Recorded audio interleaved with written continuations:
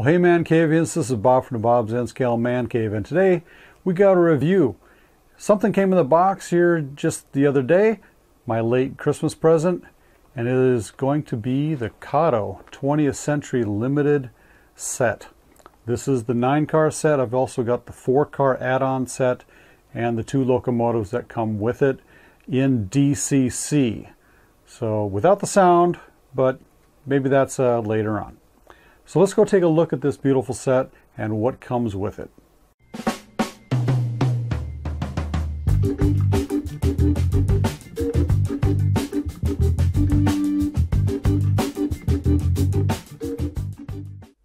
The first thing we're going to look at is these E7As. It's a two locomotive set, number 4008 and number 4022, and the Century Limited.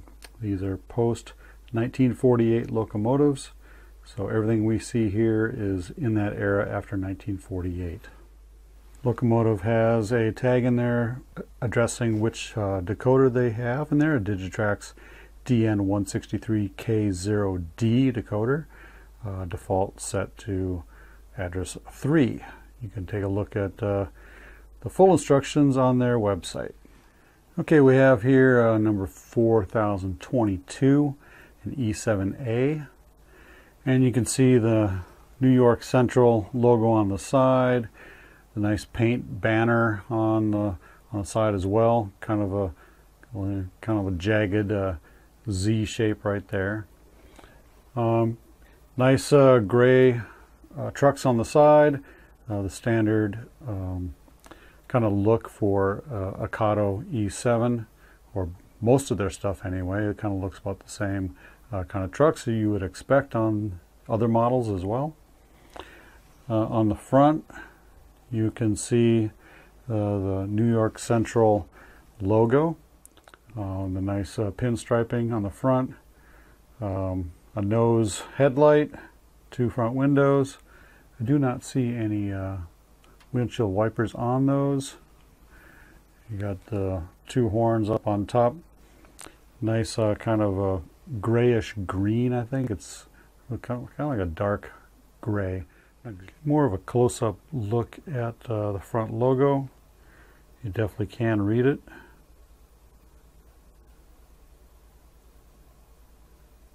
You can see those uh, details I was talking about on the trucks. And that whole side is uh, really nice.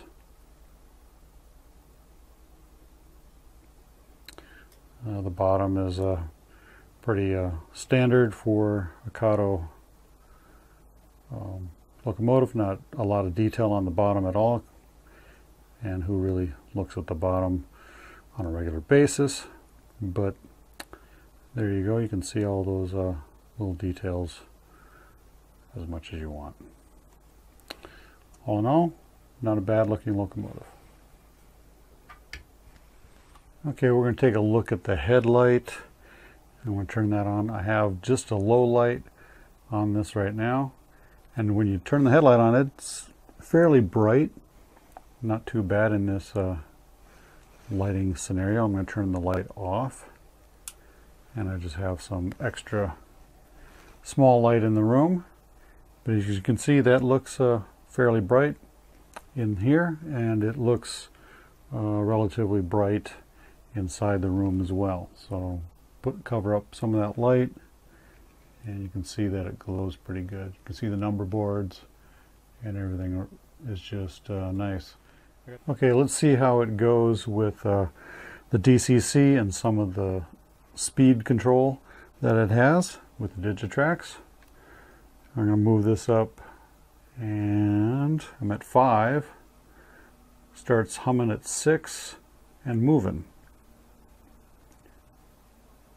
Here we're at 8, 9, 10, 11, 12, 13. And in reverse, basically about the same.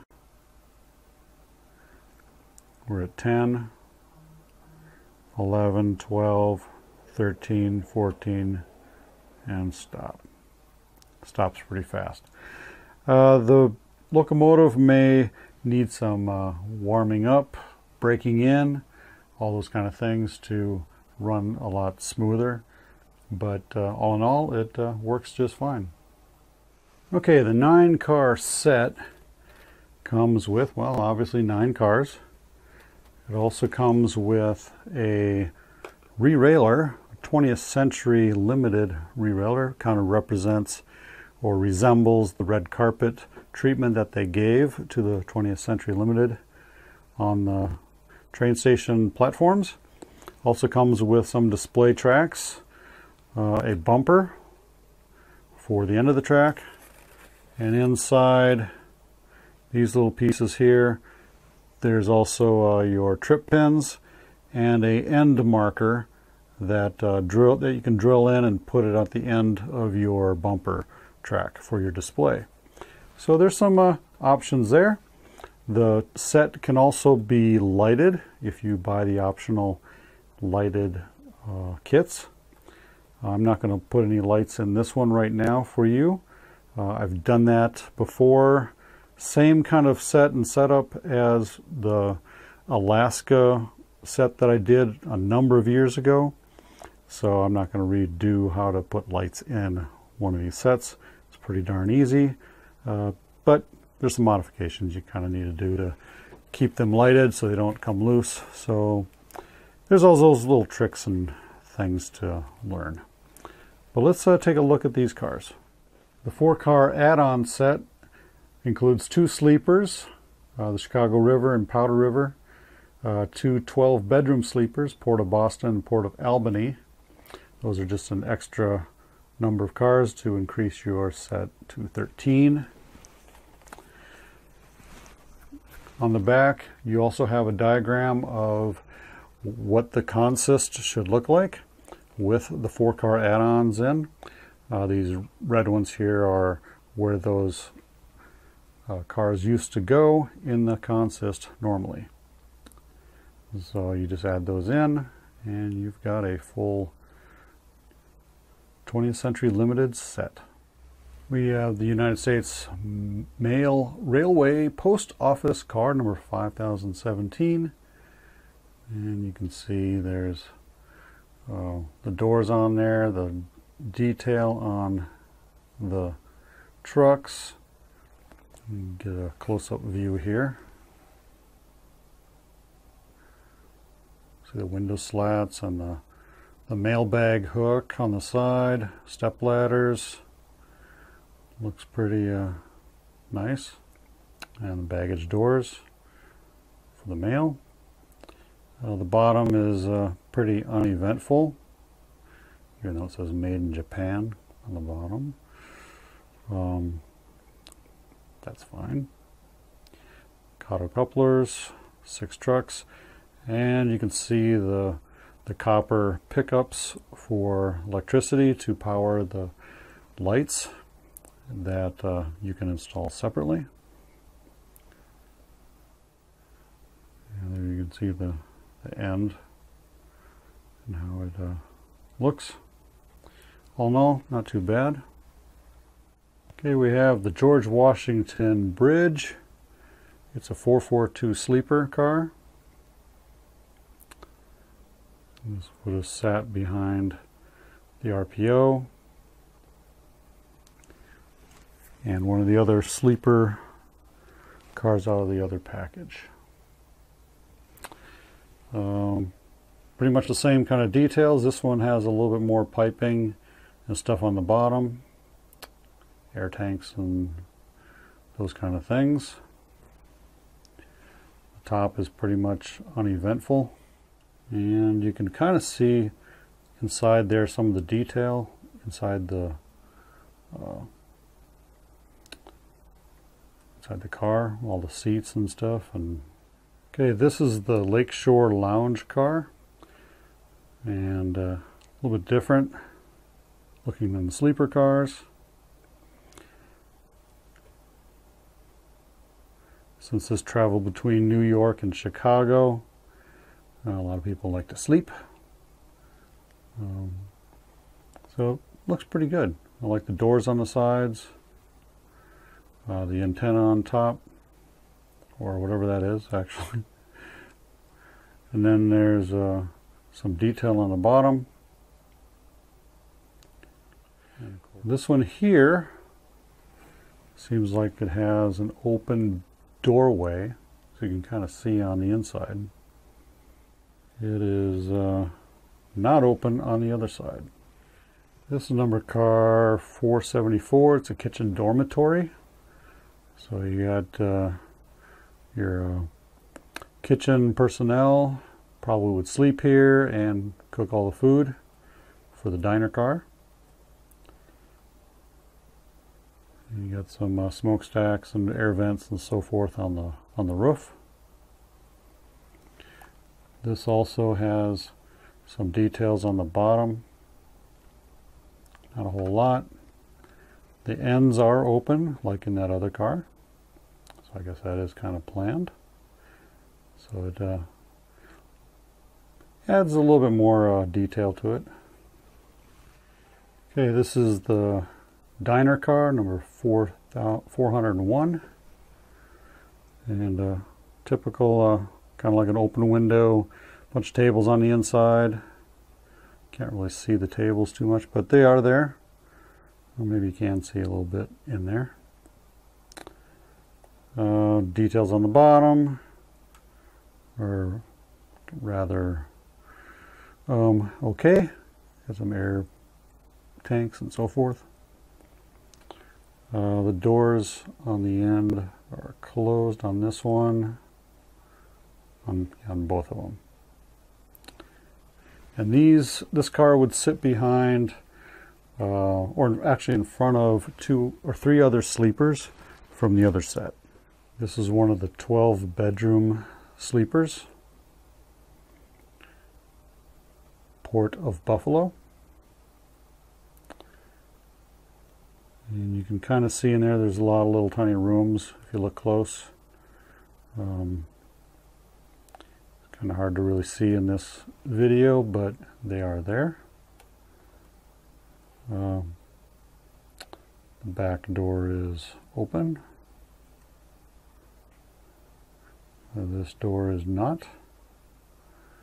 A lot of details on the bottom as well. And this car also can be lighted. Not a lot of roof detail. All in all, not a bad car. Okay, what you've all been waiting for is the observation car at the end of the train, Hickory Creek. This is a, a nice place to be at the end of the train sometimes. You get to see where you've been. Got a nice round end to the car. It'll Look a little light up here. I do not believe that lights up, but we'll see. Um, one thing about this car is comes pre-lit, so they put a special lighting uh, card in here, so everything's lit up from the back all the way up to about here, and so everything uh, looks pretty nice. We'll uh, show you that in a little bit. But yeah, nice observation car with probably a couple uh, little areas there for sleeping or meeting rooms of some sort or whatever. Not a lot of detail on the bottom, kind of standard details. And the back door is open. You can kind of see inside there. Okay, the lights are on. I just have a little bit of ambient light in here but you can definitely see all the lighting. You can actually see what's inside there. I'm going to kind of zoom in so you can see some of the detail. You can see some tables in there, some chairs, um, all the little things you kind of expect inside an observation car in the end of it. So they went all out and they really detailed the inside of it. I don't think they really did a lot of painting and make some colors jump out at you. You could probably pull this thing apart no problem and paint them yourself if you want to get some detail color into your uh, model. Uh, there is a marker light on the side. The end logo lights up. But uh, there's a little light that was up here toward the top that I was talking about that kind of looked like a light. That does not light up. And as you can see, this looks really nice from the back, at the end of the train. A nice, well-lit observation car. I'm going to test out two different railers that uh, are out there. This one here, I believe, is like a Trix uh, re-railer. And sometimes it uh, seems to work okay, sometimes it don't. So I'm going to test this out.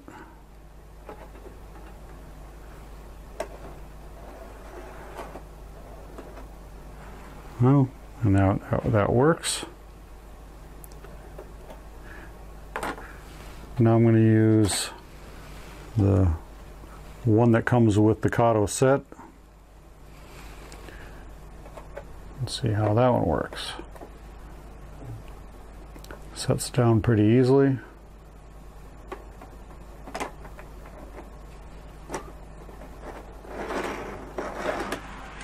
And it goes on.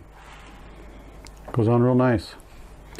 Uh, one thing I notice about these is that they are a little bit higher up on this end. And so you get I think a little bit too much angle as it comes down and hits the the rail. So you get some uh, rolling stock that just do not want to um, get off of this uh, railer. And because it hits the tracks or something like that. This one here as you can tell is a lot um, shorter so it gives you a better angle getting onto the track. And so I actually like this one. It uh, um, seems like it would handle even the really long stuff that uh, the wheels are far back from the end of the car.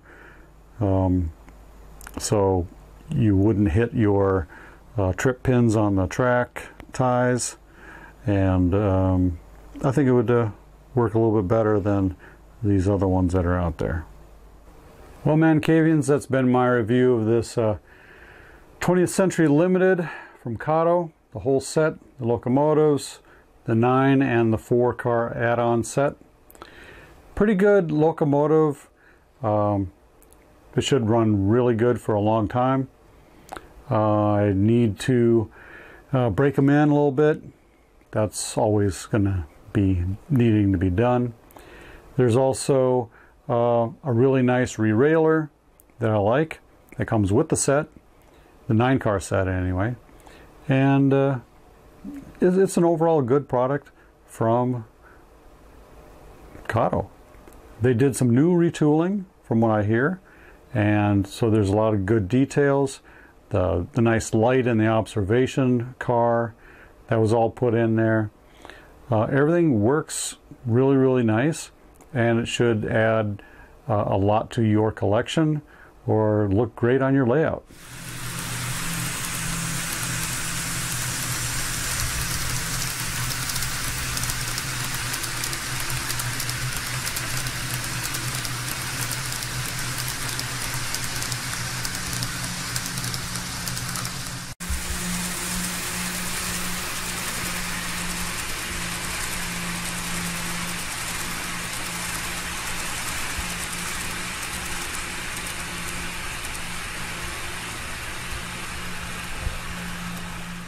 For those of you wondering why there is an F right there, stands for front. Yeah, I know. Kind of obvious, isn't it?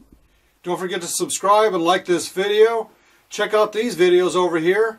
Also click on the links down below to follow me on social media.